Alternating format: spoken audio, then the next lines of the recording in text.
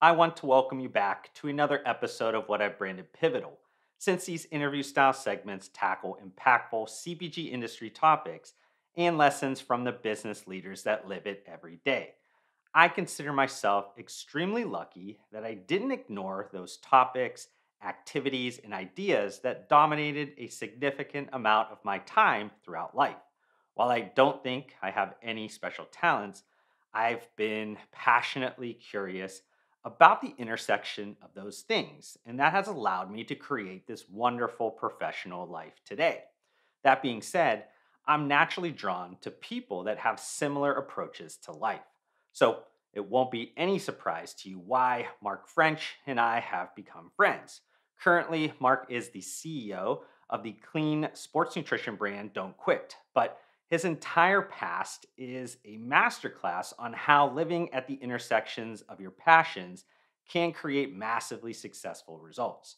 In our conversation, we cover everything from how his intrapreneur spirit at one of the largest media companies in the world led him into his first CPG venture to those lessons being applied with the recent merger of X2 Performance and Don't Quit Sports Nutrition.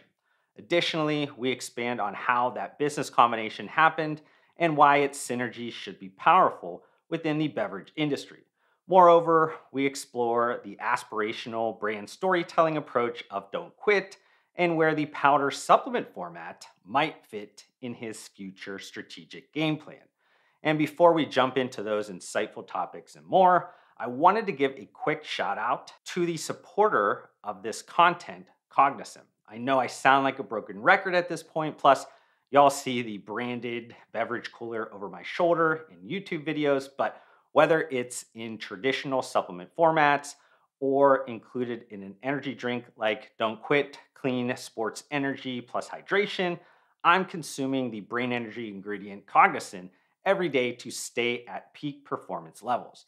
To learn more, I'll leave a link to the Cognizin website in this content's description. But without further delay, here is the recent conversation I had with my good friend and CEO of Don't Quit, Mark French.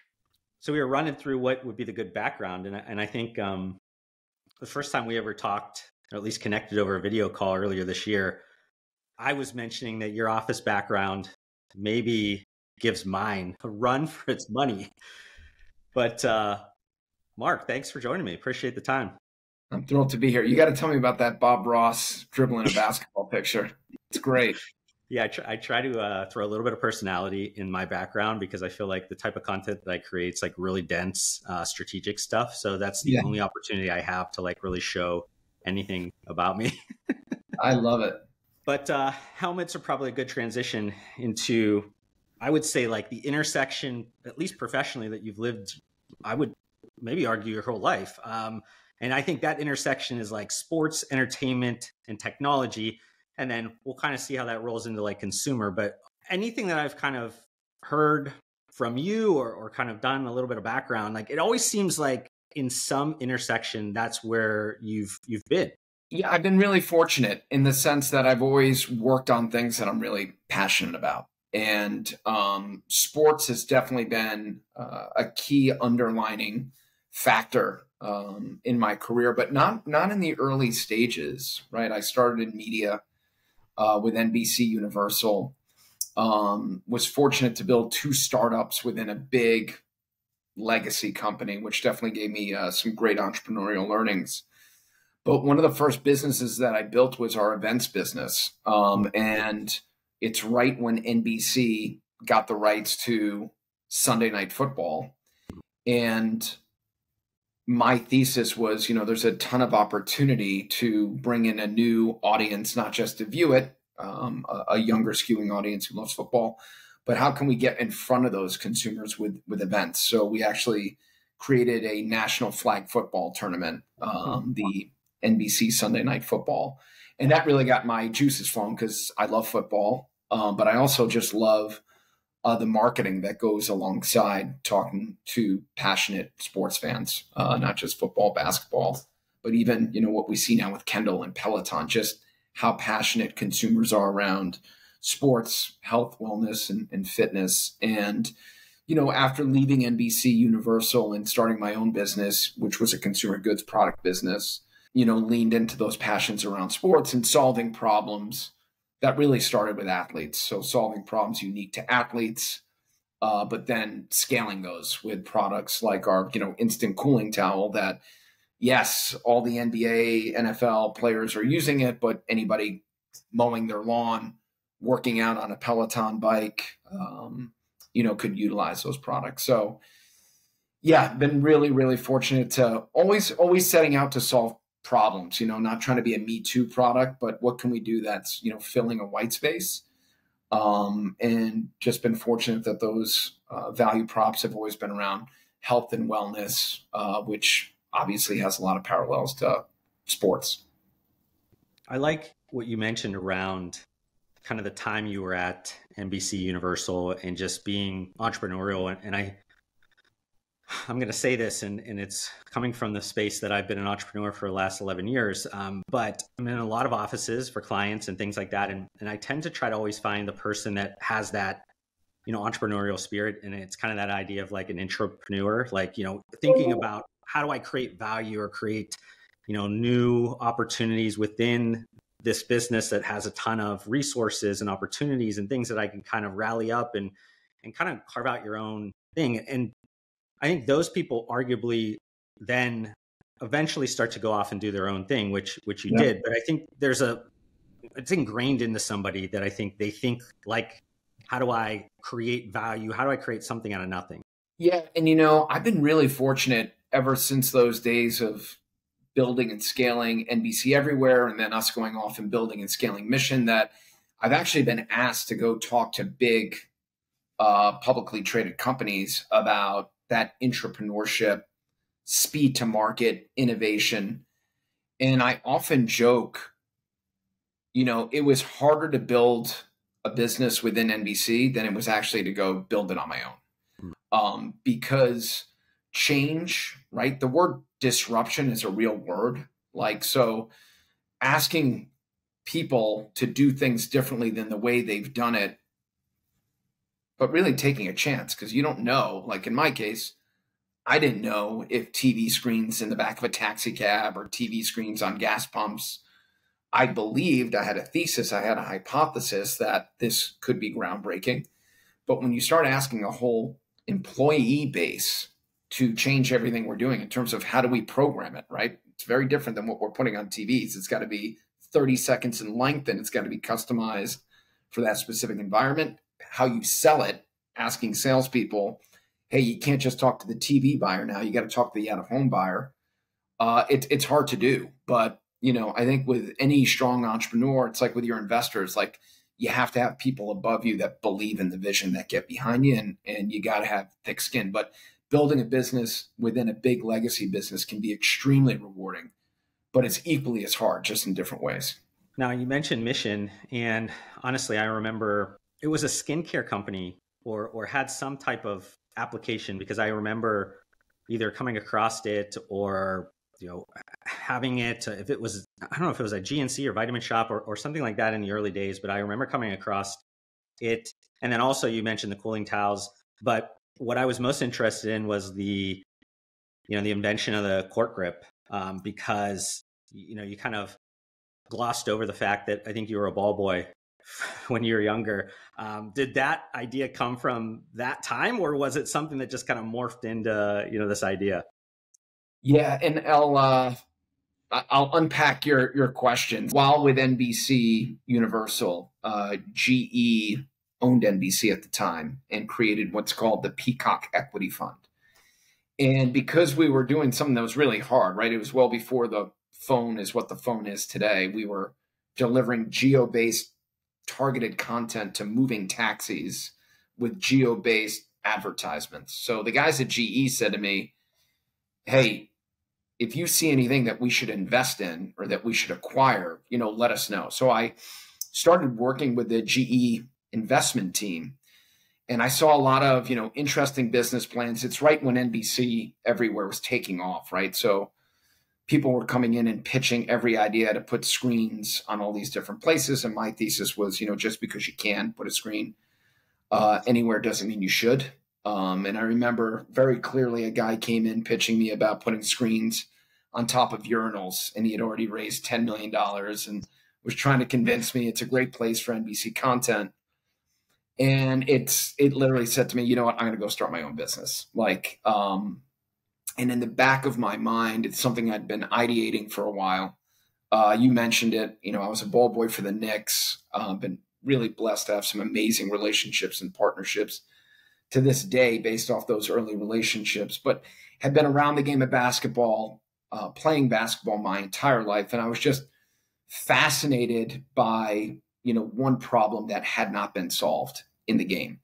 So while working at NBC, I started moonlighting. I, I hired a couple of MBA students and started building what I consider to be my dream team. And a few of those teammates are involved in in Don't Quit. It's our you know our fifth venture since. Um, one of which being Dave Cohen, who heads up marketing uh, for Don't Quit.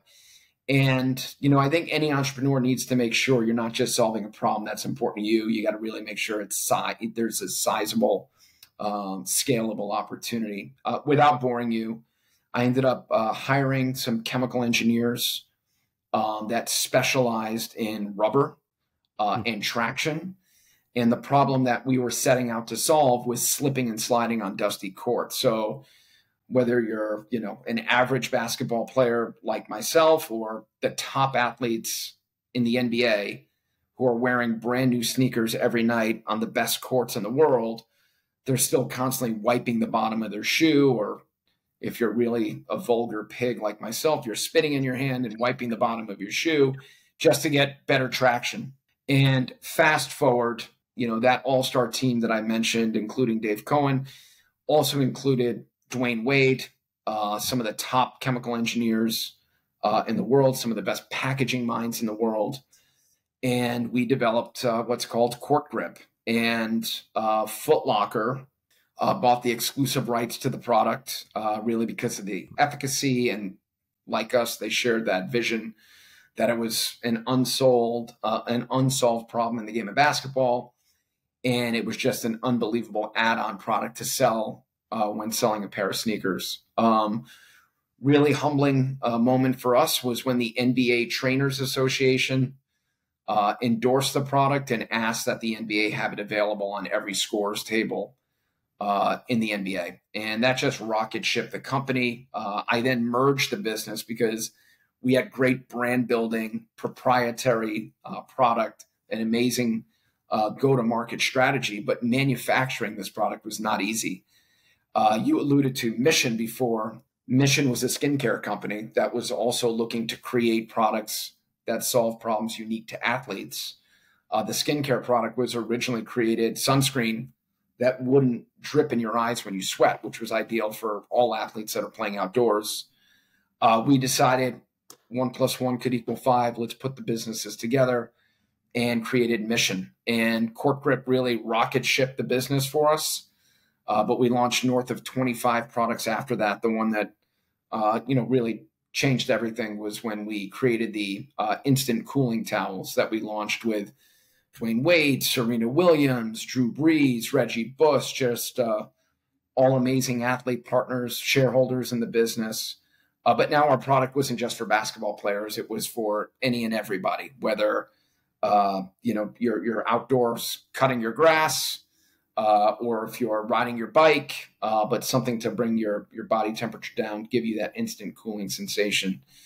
Um, but yeah, that was that was really a, a, playbook. So it took all the learnings from running a business within NBC Universal. You know, you can make mistakes when you're with a big company, and I was a lot younger, and you have the support of you know thousands of people and resources and making those mistakes and then knowing to avoid those same mistakes when we went and created mission uh, was really really valuable. And you know since then i've been blessed to invest and take active board seats in consumer goods uh, brands um, technology brands uh, sports brands um, and would really lean in to help the entrepreneur you know scale through uh, different challenges.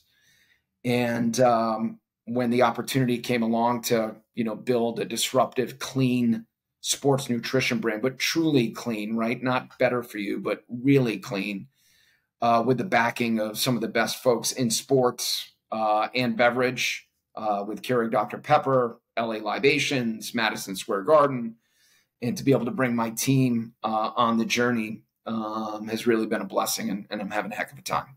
Yeah, I was going to ask because we'll definitely get into the arguably the second merger in your career, but um, initially, I think when you were with X2, you came on as a board member initially, and I was just going to ask, you know, you had, you know, advisor roles, or or you had, you know, investing, uh, active investing type of roles.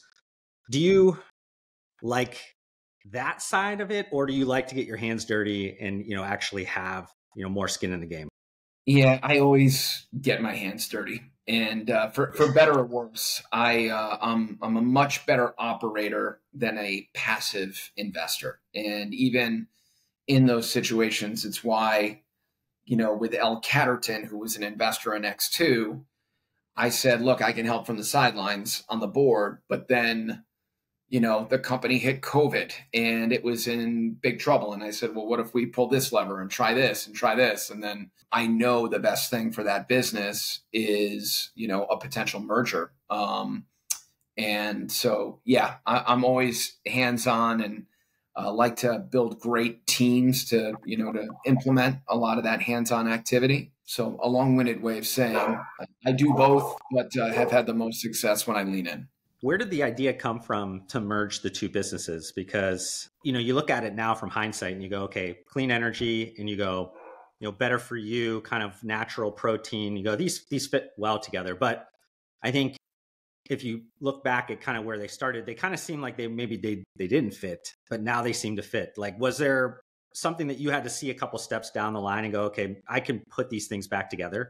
Yeah. You know i I love the the analogy. It's it's chess, not checkers, right? Because you're 100 percent right. When you first look at it, it's like no, these two don't make sense uh, to go together. But there there was a few um, points that I had strong conviction around, and uh, most importantly, where I had the most conviction, uh, it was around Danny Stepper and LA Libations, and just seeing what uh, success he's had um, in terms of rapidly helping brands get to that next level, right? Whether body armor, core water, um, even with Zoa, which an energy drink was really intriguing to me. And I, I love the way he and his team had built their offering. And I knew Danny, I've known Danny for over 10 years from my entertainment days, from our media days, right? Danny has a, a very eclectic background and we've known each other um, and we've always wanted to work with each other. And what Danny's done probably better than, in my opinion, anybody in the industry is really understanding route to market, right? So your product can be as good as it can be. How do you align with the right strategic partners um, to truly disrupt and scale? And you know, with X2, that was always a, a, challenge, right? We had over 32 NBA, NFL, Major League Baseball teams buying our product for their players, which is an extremely high bar uh, to cross. And a lot of that is just really a testament to my team's relationships, right? We have amazing athlete investors, Saquon Barkley, Kawhi Leonard, Lavonte David, um, and our NSF certification on all of our different SKUs. But no matter how good your product is and no matter who's behind it, getting it on shelf in store is a very high task, and, and nobody's done that better, in, in my humble opinion, um, for startup brands than than Danny. And when we sat down, originally we're like, yeah, this this might not make sense, but here's where we could be complementary.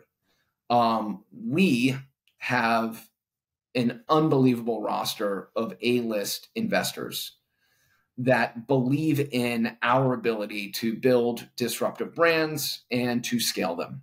And you, LA Libations, have all the answers to the test in terms of how to make sure the products are great, how to find the right distribution partners, and really how to get in front of all those retail decision makers. And we've got investors that understand um, this is a marathon, it's not a sprint. Uh, there is no overnight success. There, there have been a few, but nothing is truly overnight. And we believe and we have conviction that your brand, Don't Quit, is really strong.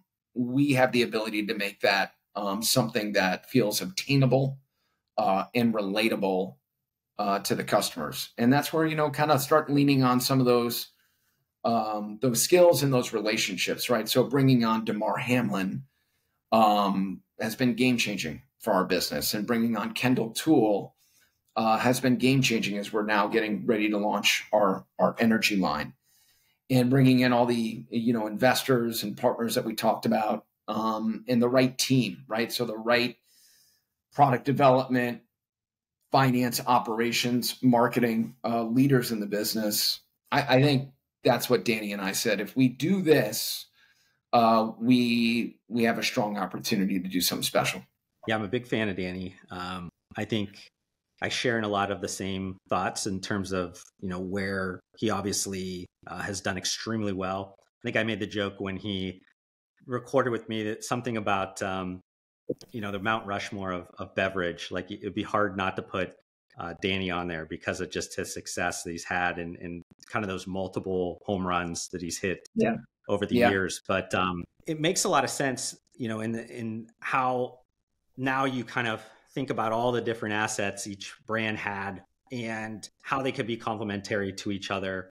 How even the leadership teams, you know, have both complementary skills, but also, you know, some long-standing respect and admiration for each other. I think it's it's good, you know, to have all of that because as a as a team, especially when you're talking about beverage, I think it's it's really a lot of times, you know, the team that you have will sometimes dictate success or not because you had mentioned it, you know, product it has to be great for retention purposes and obviously people want to have great liquid, but at the end of the day, that's just kind of the entry fee to compete in today's market. I think you need to have, you know, a lot of different uh, skill sets that will get that thing through you know the consideration phase down to uh, the purchase and back up through retention and like how do you work through those you know i hate to say it like you know legacy or, or archaic kind of models of, of, beverage that like you have to work through certain distribution retail models and if you don't have that information or you don't have the ability to understand that uh, and move water around as efficiently as possible you're not going to be successful even if you do have the most attention getting assets and you have a great liquid. Those things are things you need to have, but you need to also have all of these things like strategically aligned or linked together for them to break through all the noise because there's just a graveyard, I think, of great beverages that had you know strong investor teams or ownership teams or something like that, and, and it's just a matter of how do you create that perfect alignment with everything to push this thing above and beyond you know just the normal uh, levels of success yeah and i think um you have to have grit for lack of a better term. Like you you know you have to be battle tested. This is a tough industry. But me and my guys have done this in multiple industries and they're all tough. Um, but you have to surround yourself with people that understand this is not it's not going to be easy. Um, it is going to take not only great liquid, to your point, uh, but it's going to take tenacity, right? You you've got to win at every level. Right? To make a, a bad sports analogy, but it, it is like football. You got to win at every level. You got to have a really good product. Uh, you have to be really good at marketing. You have to do it in a cost efficient manner because nothing's free. And you have to have the right retail relationships um, and you have to be disciplined about how and when you scale and that's that's a lot harder to do than it sounds um, because you want to take every door you can get but if you can't hit all those blocks that i just mentioned and you can't deliver it and merchandise it uh, you're only setting yourself up for for failure so we got really good thought partners around the table that you know keep us honest so my cfo uh, kevin foreman uh, was with Nutrabolt forever and uh, with C4. And, you know, he's just a phenomenal thought partner because a good entrepreneur is aggressive. They want to go, go, go. Uh, but having people like that that have experienced different things for me has always been really, really valuable. And you kind of alluded to both, you know, Danny's background having, you said, I think word interesting, but, you know, he's definitely has a, you know, some of that entertainment background. You have entertainment background, which makes sense why you kept the Don't Quit name over the X2 name. And, and I don't want to talk bad about the X2 name because I come and cut my teeth from sports nutrition. So the names of brands in that space are always something similar to, to that, it seems like. But don't quit to me, when you think about entertainment, you think about, you know, maybe we're in the, you know, people say the attention economy. And how do you get attention is that you storytell. And how do you storytell? Arguably, you, you take these aspirational, you know, approaches. Don't quit, obviously really aligns well with that. Your own brand can tell your story. You can get some of these great partners that you guys have tell their story, or you can somehow merge them together and figure out how do we have them tell their stories in a way that also aligns with what we're about, which I think is you mentioned, you know, Damar Hamlin, you mentioned Kendall Toole. Um, I'm sure there's a ton of other ones that are going to have that same approach and have that both align with you know the top athletes in the world, the top you know whatever uh, profession in the world but also you know every single person is going through something that arguably they are trying to not quit from. And it's like you know it has that appeal uh, all over the board but it ends up being stories that really create the linkage. Yeah you nailed it josh. And, and our whole brand positioning and our whole brand identity is about fueling perseverance and Damar, Kendall have unbelievable stories of you know these don't quit uh, trials and tribulations and and successes. But that's not how we're building the brand, and and really why Damar chose to work with us over a lot of other beverage opportunities that came his way was we want to tell the stories of the consumer because we all have don't quit moments. Every single one of us, right? We've all been knocked on our ass and we all have that opportunity to get back up and to keep going. And what we're doing with our persevering profiles is Damar, Kendall, Jake are sitting down and interviewing customers, right? So we're working with our retail partners to get nominations of people that have had unbelievable stories of perseverance and, and sharing those stories. And I'm really, really proud of how those are coming out. Hopefully, you, have had a chance to check out the first one. Uh, we've got another one that we're putting together right now with Kendall. Um, and they're just amazing stories that make you feel good, right? That make you appreciate um, that we all have these challenges and how we face those challenges is is what um, is what the brand's all about.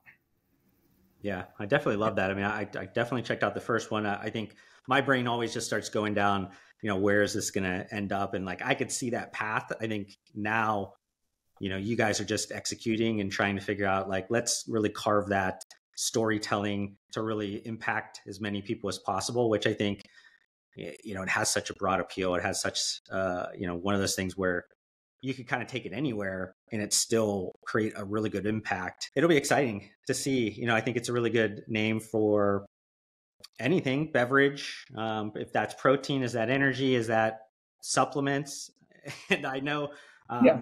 i might have asked you this before and it was mostly around i think the fact that x2 at one time maybe had a powdered supplement and i can't remember what category it was if it was hydration or what it was but my mind i think naturally goes into this idea of like will the brand eventually evolve into some non-beverage formats or are you guys sticking strictly to liquid? No so when we did our merger don't quit now owns all the patents and formulas of x2's very successful pre-workout powders and pre-workout energy shots. So you know all those uh, professional teams that we talked about uh, were using our powders as well as um, you know our, our energy drinks and it's a it's a great product. Same thesis, philosophy, clean ingredients. Um, and will we go back there uh, eventually? Um, but right now we're we're laser focused on uh, the launch of our our clean, healthy energy plus hydration line. That's really how we're positioning it.